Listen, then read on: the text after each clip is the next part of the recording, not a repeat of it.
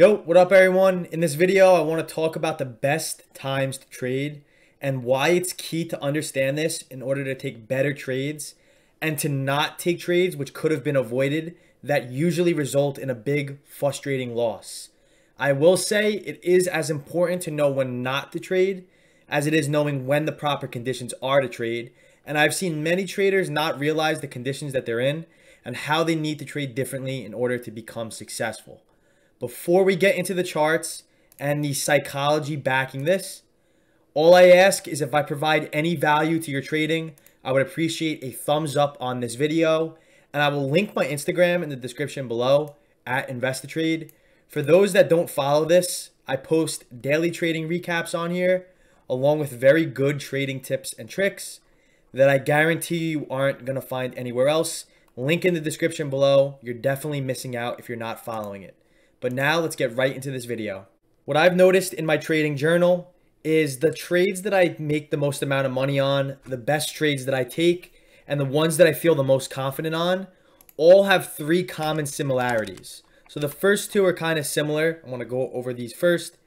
Um, so the best trades that I take all happen around the same time, we could call it, where these two conditions present the best opportunities in my opinion. The first one is when there is structure in the market meaning when I could properly read the context and understand the story behind the market, whether it be my supply demand zones, whether it be just the auction process of the market and comparing price and volume. When I could properly read this in the context and put the pieces of the story that the market's presenting us together, I take very good quality A plus trades. And when I add the icing on the cake, when I understand the relationship between price and volume, I know the participation between buyers and sellers, and I'm able to gauge the strength between either side. I don't care if it's bullish, I don't care if it's bearish. If I could properly read that and know which side is winning the tug of war battle or which side is showing more effort, which side is showing more or getting more reward, then I could understand the relationship and really get the structure and understand the story backing the market. And that's when I take the best trades. So I want to go over the action from Monday, January 31st. Uh, this was in the pre-market plan. I post these every single day in the Discord, setups I'm watching, levels I'm looking out for, and potential trading scenarios that happen in real time. So what I'm going to go over here is going to be on the S&P 500 specifically. Everything I talk about in this video relates to any market, any stock, Apple, Amazon, Tesla, this is how the market facilitates trade. So we have structure. Why I post my plans is basically to give me structure of the levels I'm looking out for. This is the structure and this is the market context. And then I use price and volume to kind of gauge what's going on in the market. That's why I use these two key points together because without my levels of interest, supply, demand, or support and resistance, then I don't have my where I'm looking to trade at and if I don't have price and volume, being able to read what's going on and know buyers and sellers, then I don't have my theory, aka when to enter the trade. So in the pre-market plan I posted on Monday, which is yesterday, the day I'm recording this video, uh, I said for me to be bullish, I would like a strong volume break above the 4436 to 40 or any demand created above 4400 to 412 and I will look to play long on a move up. If this is true, we could see a rally into 4467 supply and then the supply above that. So now why these levels were key, I'm going to pull up a five minute chart here, is for the following reasons. So let's get a larger time frame view of the market just to see what was going on. So last week we had a, or past two weeks, we had a continuous sell off putting in lower lows, putting in lower highs. And eventually the market found a bottom with very heavy volume. I love to see that and we created demand on the way down and then the move up validated that demand. So now we have a key area of demand. I said this in the InvestiTrade webinar we did over the weekend that this 4263 area is very key for the market to bounce at and or put in a higher low, which we did it two different times. Now, last week as well, we had the FOMC meeting where the market made a very aggressive drop to the downside, a very aggressive sell off with some heavy volume. So this validated a supply zone. And from Monday to about Thursday, the market was in a very, very tight range where we had supply at the highs and demand at the below, uh, at the lows. I love to see the market range bound because usually the move after balance, aka consolidation or range, gives us a good piece of information about the market. So supply above, demand below. The following day on Thursday of F- FOMC, myself, other members of the Discord, I think I even made a video on this, absolutely destroyed the short side playing puts or a bearish position inside of this 4412 supply zone. The market sold off aggressively and then overnight continued to sell off into this demand zone where we found a, uh, a buyer and a bid. Then the market rallied into this FOMC meeting on Friday, and we were going into the weekend with solid structure. Why were we going into the weekend with solid structure? Well, A, we bounced off the 4263 demand zone, and B, we were creating demand on the way up, and C, we were going to test the upper supply that was the upper range of balance. The move out of balance usually indicates continuation. Um, and the last time we tested the supply that was created at FOMC, we sold off. So Friday having a strong closed inside of supply, and then the market all overnight uh, into Monday morning consolidated inside of supply, which is why the plan on Monday wanted to lean towards the bull side. If we can create demand above 4412 or we could have a strong bullish move with strong volume above 440 uh, when i see demand getting created inside of supply that is a very bullish sign because think about it.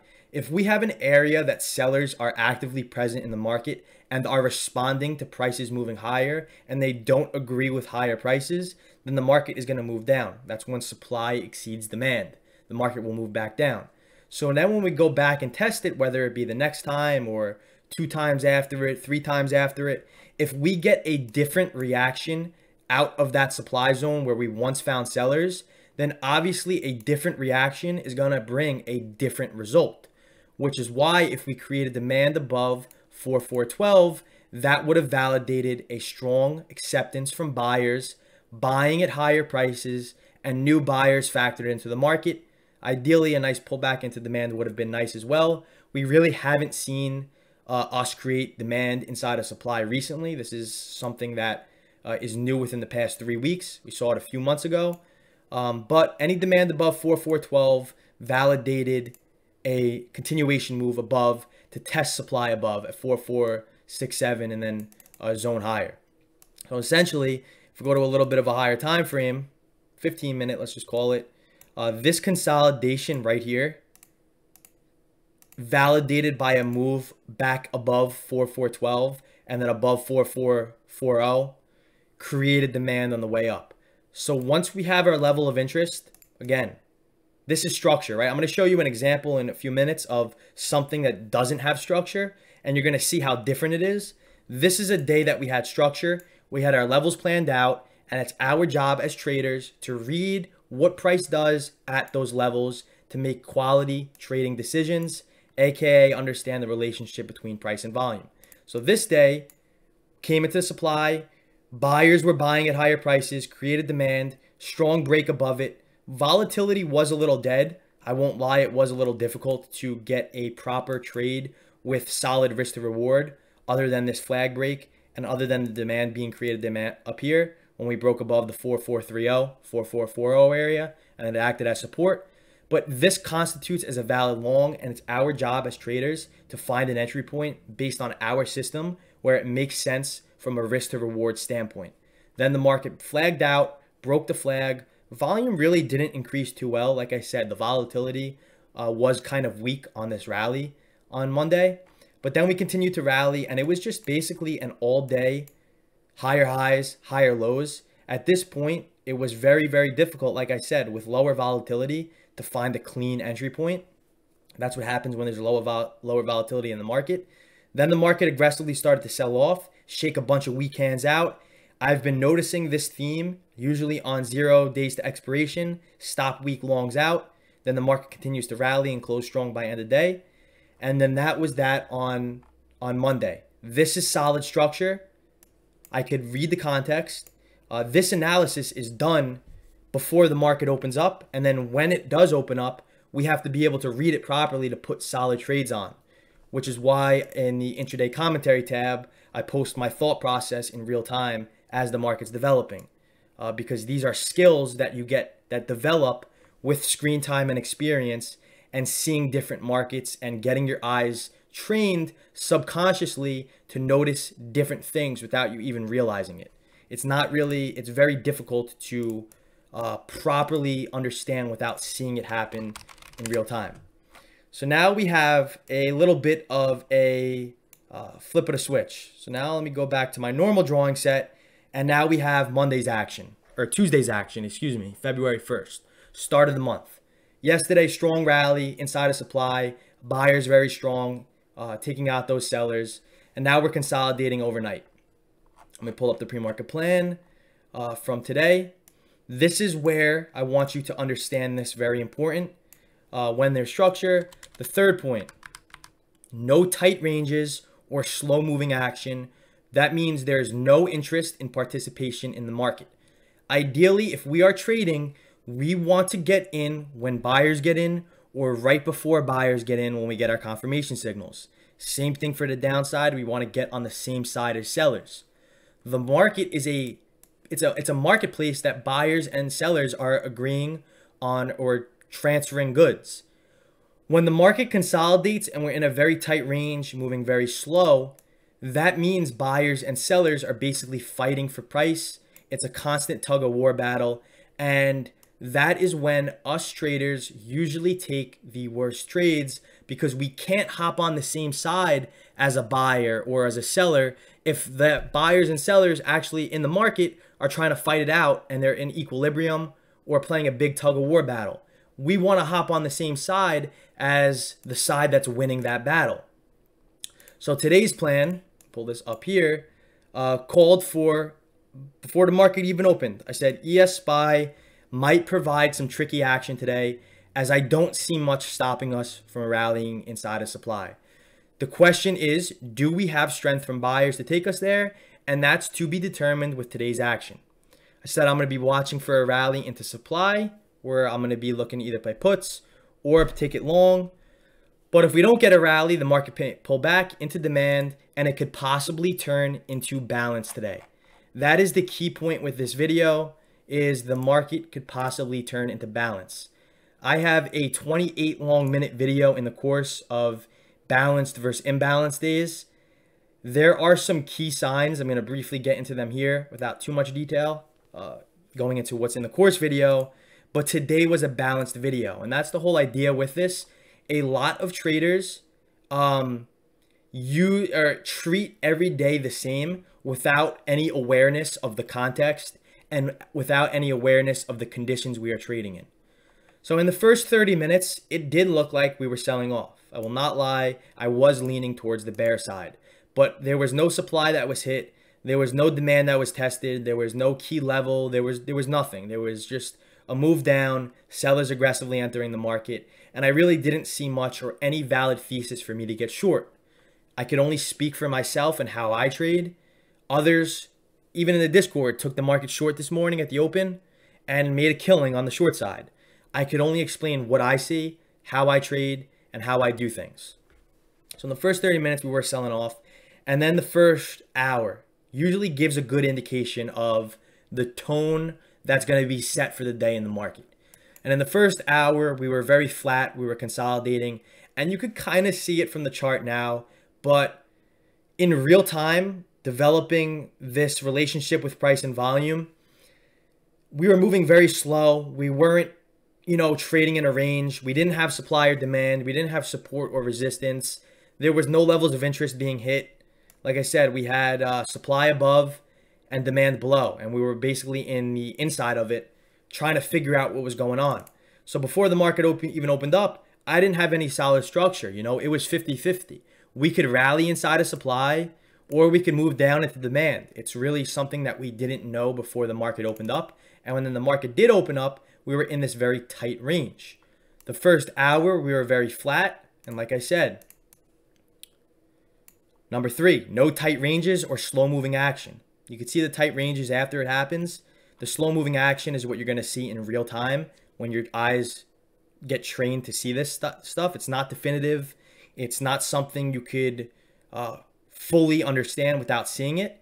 But slow moving action and tight ranges means there's not one side winning. They're fighting it out. And when they're fighting it out, there's no interest or solid participation in the market. Uh, so then we tried to rally. We tried to go for the high a day. We broke above resistance by two ticks, half a point, and then failed. When I see that, it's not a good sign for continuation. And seeing the action that we saw today so far in the first three hours at this point, we were very flat. It is a good sign to not trade this or scalp it. You can make money on these conditions. I will not say that. These are scalping conditions.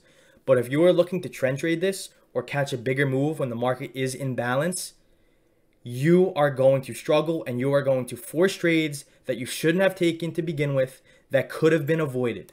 A lot of traders treat a day like yesterday where there was clear direction, there was solid structure, and there was valid participation in the market, just like yesterday, right? They would treat because, you know, either they had FOMO from yesterday, they didn't take the move, or they did take it and they want to make more money today. It's all relates back to emotions and your want or need to make money and be active in the market. Today, the market opened up. Those traders that either had FOMO or want to make more money are going to treat yesterday and think the same thing is going to happen today subconsciously without them realizing it. Their brain is a mechanism that tries to either protect them at all costs or it tries to make them happy and win at all costs. And that's really bad in trading. Our brain is our worst enemy unless you could properly control it. So then um, we were consolidating and in the intraday commentary tab, I did not take this trade because I know these conditions. I force setups and I take the most amount of losses in these conditions. That's something you develop with your journal. So I do everything to try to avoid them. And if my analysis is right or, you know, I, I could have taken a trade, good. There will be an opportunity tomorrow. There will be an opportunity next week. There are plenty of opportunities in the market. So I said balance conditions, thesis is skewed. Uh, this is the commentary tab. This is where I basically post my thought process throughout the day. Uh, I said if ES could break the 4-5-14 resistance with strong buying volume, I don't see why we can't rally first into 45-23. And then if we could create demand above, the next supply is 4-5-4-6. By end of day, power hour, as soon as 3 o'clock hits, strong volume came in the market. I did not take this, and we rallied right inside of supply. But the first five and a half hours of the market opened up, uh, you know, like I said, you could scalp it because I know I'm going to have people say, oh, you know, I made a lot of money today. But the majority of people, the people that I'm trying to help, um, you were going to force setups when the market's balanced. There was no structure. We didn't have buyers being stronger than sellers or sellers being stronger than buyers. It was just consolidation and it was continuation from the overnight session. The real move came in power hour where we broke out with strong volume. That strong volume says buyers are winning. Buyers are showing aggression maybe hop on the same side as buyers. This, in my opinion, was the best setup today. Right into supply. A nice 30 point move into supply in a quick hour. Your SPY contract would have went up 100, 200, even 300%. Um, so know when to trade. You develop these things through screen time and experience, reviewing your journal, and understanding the auction of the market properly. It's also all about taking high quality trades and understanding what a low quality trade is to you you want to trade when the probabilities are in your favor. That's when I take the best trades. That's when I make the most amount of money. And that's when I get the best results. And I'm sure a lot of people watching this are going to agree that sometimes they trade, now that they understand this, in this range where we're consolidating, really not doing much. Prices moving very slow and sideways. And that's when the trades really could be avoided. And this is when I view it as a lower probability of a setup. The market's more about sitting on your hands than it is actually being active. I stress patience a lot, and it's really a key component in trading successfully, knowing when to strike and knowing when to sit sidelined. So I'm going to leave you all off on that note. If you enjoyed it, drop a like, comment if you have any questions, and be sure to check out the links in the description below. I offer a very in-depth and educational course that comes with access to the Discord and no extra charge. Uh, there are tons of videos and there are tons of value in the course. Definitely check it out. But besides that, I'm ending it. Peace out.